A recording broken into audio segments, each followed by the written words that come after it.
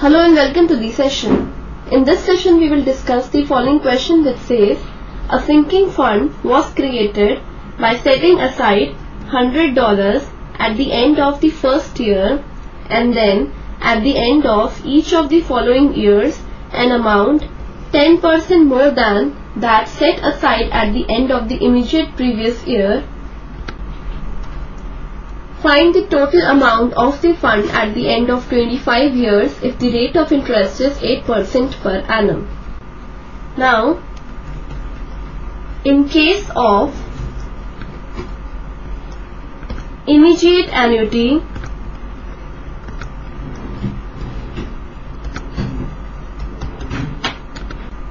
the first payment will start at the end of the first period and so the first installment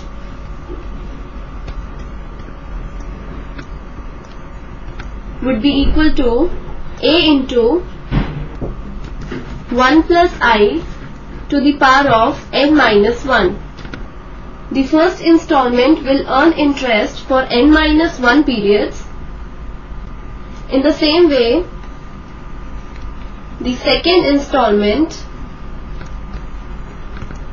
would be given as a into 1 plus i to the power of n minus 2.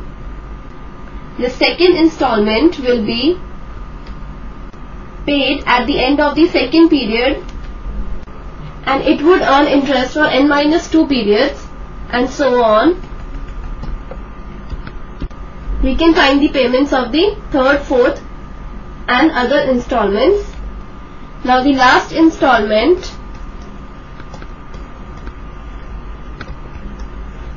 would be equal to A only as it would not earn any interest since its payment is done at the end of the term.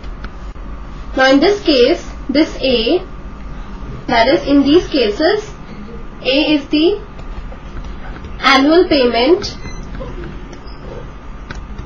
of each installment Then n is the number of periods r percent is the rate of interest and i is equal to r upon 100. This is the key idea that we use in this question. Let's now proceed with the solution. Let's see what all is given in the question. It's given that a sinking fund is created by setting aside $100 at the end of the first year and then 10% more than $100 is set aside at the end of the next year's and we have to find the total amount of the fund at the end of 25 years and we are also given the rate of interest as 8% per annum. So according to the question, we are given the annual payment of each installment, say A, as $100. That is, this is the amount which is set aside at the end of the first year. So A is $100. Now N would be equal to 25 since we have to find the total amount of fund at the end of 25 years so n is equal to 25 then r percent is 8% per annum and so i would be equal to r upon 100 that is equal to 8 upon 100 which is equal to 0.08 this is the value of i now as in the question we have that this amount that is $100 is set aside at the end of the given period. So this means that it is the case of immediate annuity and so from the key idea we find that in case of immediate annuity the first installment is given as a into 1 plus i to the power of n minus 1. So here we have first installment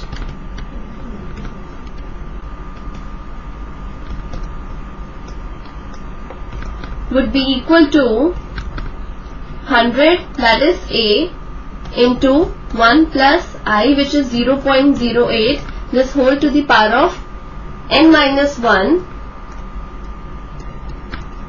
so n is 25 and so n minus 1 would be 24 so here we have 24 that is the first installment. Will amount to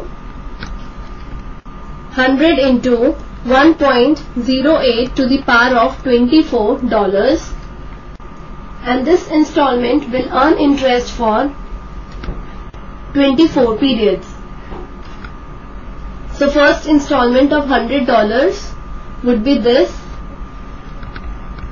at the end of 25 years. Now let's find out the second installment in the question we are given that at the end of the following years that is years following the first year an amount of 10% more than that set aside at the end of the immediate previous year is set aside. So this means at the end of the second year 10% more than $100 which was set aside at the end of the first year would be set aside for the second year. And so this would be equal to 100 plus 10 upon 100 into 100 and so this would be equal to $110 this would be small a for the second installment. And the second installment is given as a into 1 plus i to the power of n minus 2 so second installment would be equal to 110 into 1 plus i which is 0.08 to the power of n minus 2 that is 25 minus 2 that is 23 so the second installment will amount to this which is 110 into 1.08 to the power of 23 dollars. At the end of 24 years this could also be written as 11 upon 10 into 100 into 1.08 to the power of 23 dollars. In the same way, we can find out the third installment for which small a would be 10% more than 11 upon 10 into 100 dollars. So this would be equal to 11 upon 10 into 100 plus 10 upon 100 into 11 upon 10 into 100. So further we have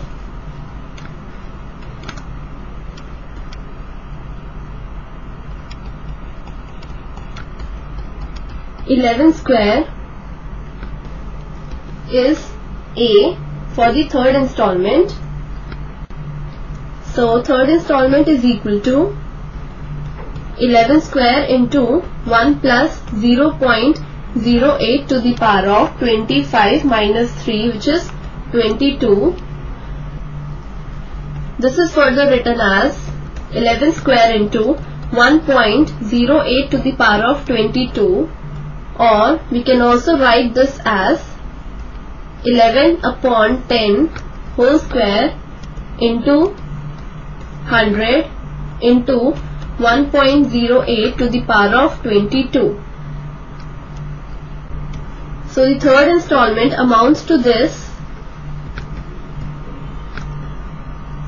at the end of 23 years.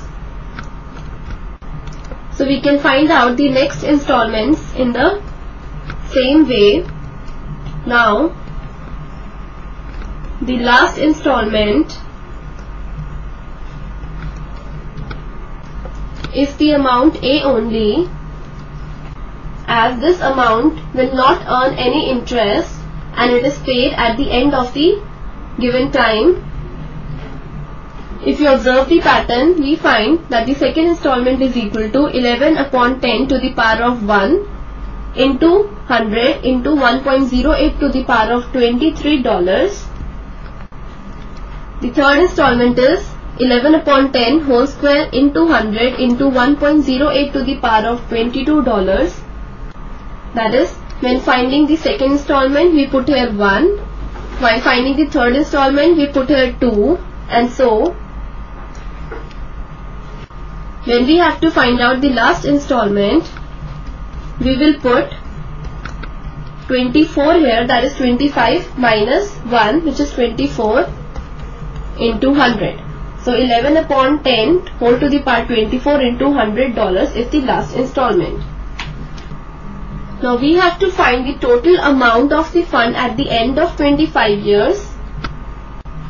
So for the total amount,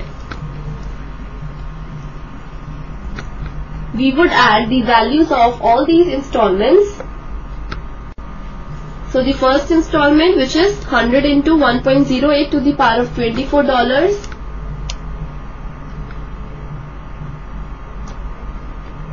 So we write here 100 into 1.08 to the power of 24 plus the second installment which is 11 upon 10 to the power of 1 into 100 into 1.08 to the power of 23 plus the third installment which would be 11 upon 10 this whole to the power of 2 into 100 into 1.08 to the power of 22 plus and so on plus the last installment which is 11 upon 10 whole to the power of 24 into 100. Now next. The total amount would be equal to we will take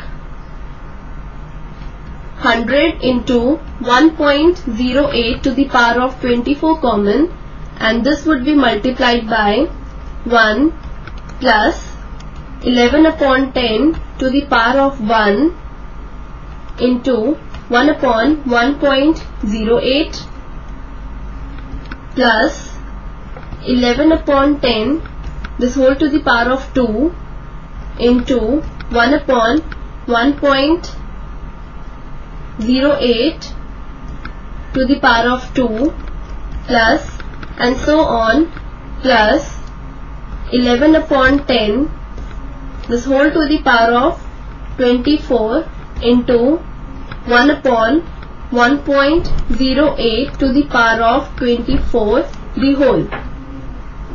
So this is further equal to 100 into 1.08 to the power of 24 this into 1 plus 11 upon now when we multiply this 10 with 1.08 we get 10.8 plus 11 square upon now 10 square multiplied by 1.08 whole square gives us 10.8 whole square plus and so on plus 11 to the power of 24 upon now 10 to the power of 24 multiplied by 1.08 to the power of 24 gives us 10.8 to the power of 24 the whole. So this is further equal to 100 into 1.08 to the power of 24 into 1 plus 11 upon 10.8 plus 11 upon 10.8 the whole square plus and so on plus 11 upon 10.8 this whole to the power of 24 the whole. As we can observe that this is a GP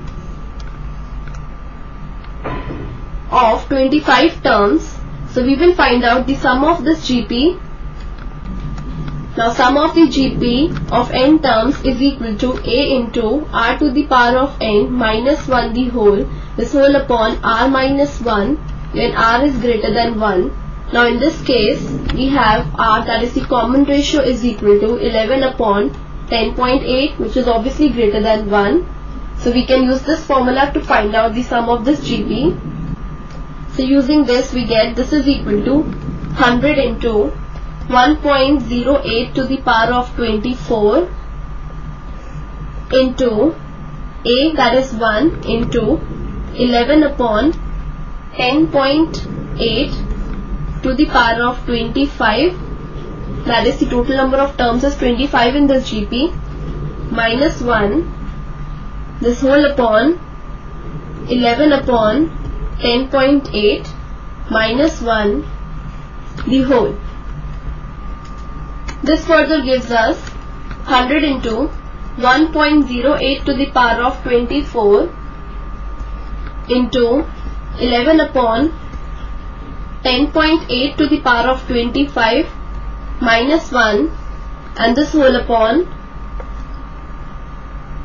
0.2 upon 10.8 that is 11 minus 10.8 is 0.2 this upon 10.8 the whole. Further this is equal to 100 into 1.08 to the power of 24 into 10.8 upon 0.2 into 11 upon 10.8 to the power of 25 minus 1 the whole. Now we will find out the value of 11 upon 10.8 to the power of 25 by taking this to be equal to x. Now taking log on both sides we get log x is equal to 25 into log of 11 upon 10.8 so this is equal to 25 into log 11 minus log 10.8 the whole. Now putting the values of the logs of the given numbers, we have 25 into 1.0414 minus the value of log 10.8 which is 1.0334. So this gives us 25 into 1.0414 minus 1.0334 which is 0.008 and so this comes out to be equal to 0.2 that is we have log x equal to 0.2 and from here we have x is equal to nt log of 0.2 which is equal to 1.585 this is the value of x which is 11 upon 10.8 whole to the power of 25. So this is equal to 100 into 1.08 to the power of 24 into 10.8 upon 0.2 into 1.585 minus 1 the whole which is equal to 100 into 1.08 to the power of 24 into 10.8 upon 0.2 into 0.585. Now removing the decimals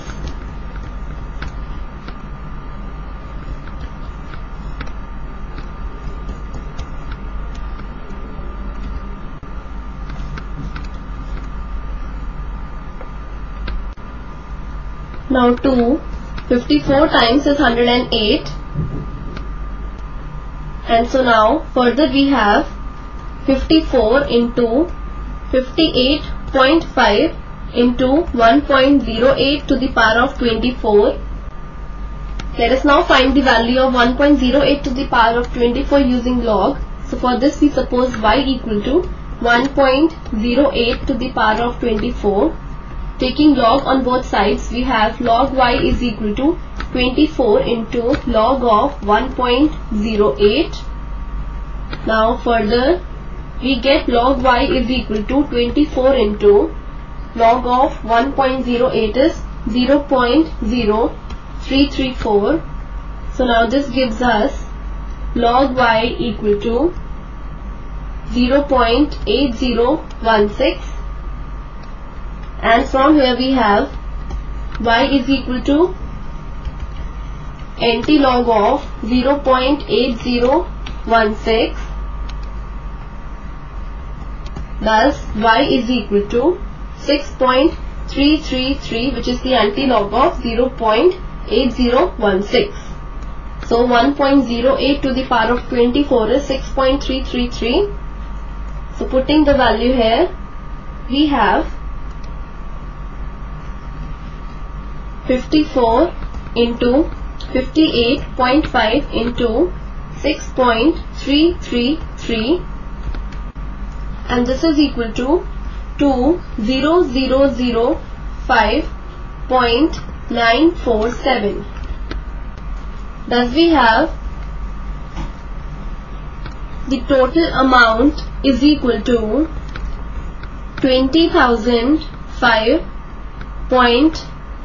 20,005.95 dollars or this could be equal to 20,006 to the nearest dollar